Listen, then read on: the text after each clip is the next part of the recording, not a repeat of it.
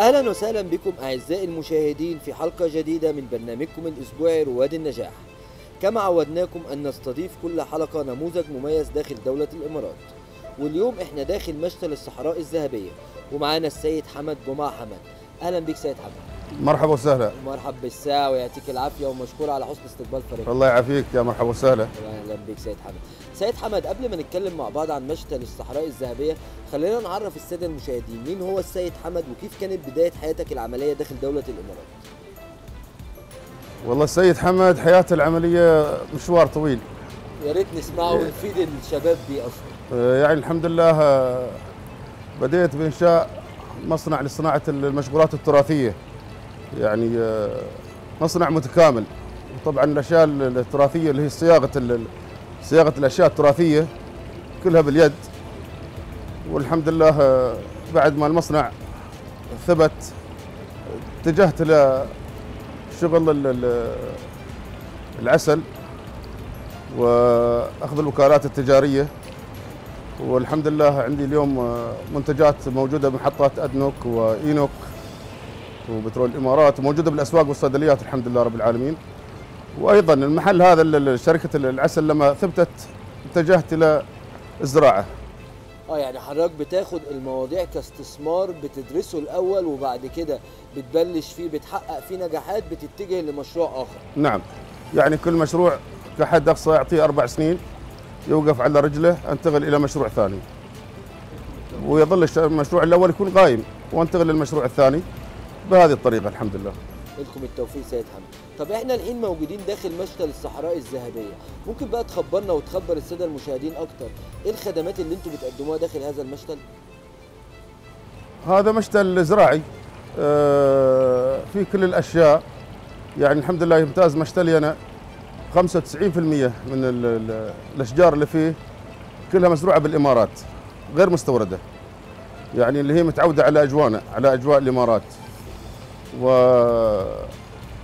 كلها أشجار مثمرة وما يأثر عليها الصيف. آه بعد فترة الصيف لما بتيجي قصدك ويجي الشتاء ممكن السمر أو ال- ال- المواد تتغير أو ما تبقاش في أحسن أحوالها. أنتوا لا معتمدين على الثمار اللي عندكم موجودة شغالة داخل الدولة. فترة الشتاء تنفع وفترة الصيف؟ لا فترة الشتاء تكون الثمار كويسة والشجر كويس اللي هو بالنسبة للمستورد. بس لما يدخل الصيف التعب الشجر اللي جاي من برا يتعب على طول يموت يعني ما ما ما يعيش. فعلى أساس كذا أنا معتمد على الأشجار اللي هي المحلية أكثر شيء على أساس إن الناس تأخذها وتزرعها وتنجح معاهم سواء صيف أو شتاء. إنتاج محلي كل اللي في المشتل 95% إنتاج محلي. أنت برضو بتدعم المنتج المحلي للاستثمار الزراعي. هذا أكيد. ونحن نشجع على حسب توجيهات الحكومة ال- الأمن الغذائي في الدولة وننصح ال- ال- الزباين بالأشياء المفيدة وبالأشياء المثمرة وبالأشياء اللي هي آه، تعطيهم محصول وتكون آه، ما تتأثر في فصلة الصيف. ما تتأثر ابدا وتكون موجودة بعكس الأشياء اللي هي مستوردة من الخارج.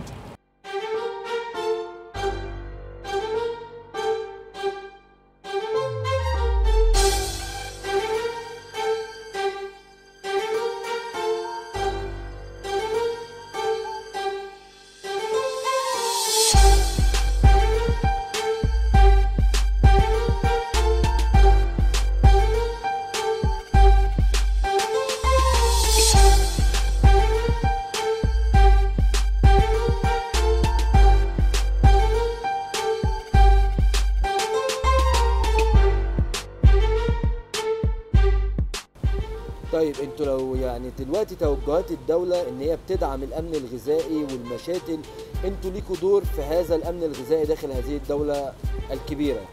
آه لو حد دلوقتي جه لحضرتك بيسألك أنا مش عارف أزرع أنا عايز أتعلم الموضوع ده إزاي؟ أنتوا بتقدموا تسهيلات للعملاء بحيث تبقى عارفة طريقة الزراعة سواء داخل الفيلا البيوت غرف يعني وات المكان. بس المهم يتعلم عشان نأمن نفسنا من موضوع الأمن الغذائي وده توجه دولة نعم. نعم ونحن مع الدولة. وندعم المواطنين في الزراعة. و- ونساعدهم ونعطيهم نصائح زراعية والطرق الزراعة الصحيحة. وعلى أساس كذا أنا ما أحب أجيب أشياء مستوردة لأنها ما راح تعيش معنا ف 95% المنتجات اللي معايا موجودة بالدولة متعودة على اجوانا واصلا أكثرها بعد تقريبا 40% أشجار محلية إماراتية. عرفت؟ مثل المانجو مثل الموز مثل في أشياء كثيرة في الأساس هي محلية. لكم التوفيق نعم. سيد حمد. لكم التوفيق إن شاء الله. طيب سيد حمد إيه خططك المستقبلية؟ بتفكر تعمل إيه بعد كده؟ والله لسه. يعني المشت- المشاتل بديت الحين من سنة ونص. فاضل لي سنتين سنتين ونص إن شاء الله أنتهي من آه، المشاتل وتوقف على رجلها. بعد ذلك راح أفكر إن شاء الله في مشروع ثاني إن شاء الله. لا كمشتل مش حابب توصل من المشتل ده للمنتجات أكتر تزود ال- الخدمات يبقى في أمن غذائي أكتر؟ إن شاء الله آه، أنا عندي في الطريق 9000 شجرة ليمون جاية. آه، راح توصل إن شاء الله على آخر الشهر الليمون التايلندي العنقودي. وأتمنى من أصحاب المزارع المواطنين إن تكون في الدولة عندنا مزارع متخصصة في إنتاج الليمون. لأنه آه، على حسب علمي ما توجد مزارع متخصصة في إنتاج الليمون داخل الدولة بأنواعه يعني الليمون بأنواعه. فأتمنى وأنا يعني مركز على الليمون بشكل كثير. على كذا الحين عندي شحنة جاية على آخر الشهر إن شاء الله 9000 شجرة ليمون إن شاء الله. إن شاء الله لكم التوفيق. طب إيه بقى اللي بيميزكم كمشتل الصحراء الذهبية؟ إحنا ما شاء الله شفنا عندكم كاستمر كتير والناس كلها بتشكر في المحصولات وفي السعر. يعني أنتم موفقين بين الاثنين فبرضه ممكن حضرتك تخبر السادة المشاهدين أكتر إيه اللي بيميزكم؟ أنا الحمد لله آه، على ما شفتوا أنتم زبايني ما, ما ينقطعوا نهائيا. آه، الحمد لله لأن الزباين اللي عندي عارفين أسعاري. أسعار آه، بسيطة وربح بسيط جدا. هم حتى عارفين يعني. أنت قلت من اول الحلقة الهدف عندك مش ربحي الهدف عندك إفادة الناس والأمن الغذائي. نعم. هذا هدفي يعني ال- ال- في بعض المشاتل يستغلوا الناس وخاصة بأشجار مستوردة. آه، لما تجي فترة الصيف يتفاجئوا الناس إنها ماتت ما تحمل الحرارة معانا. فأنا حاطط يعني في المشتل عندي أشجار آه، تتحمل الحرارة محلية في الأساس أسعار مخفضة بفائدة بسيطة. هذا اللي خلى الناس الحمد لله آه، ما تنقطع عن المحل. على طول رايحة وجاية على المحل والحمد لله أصبح لي اسم يعني.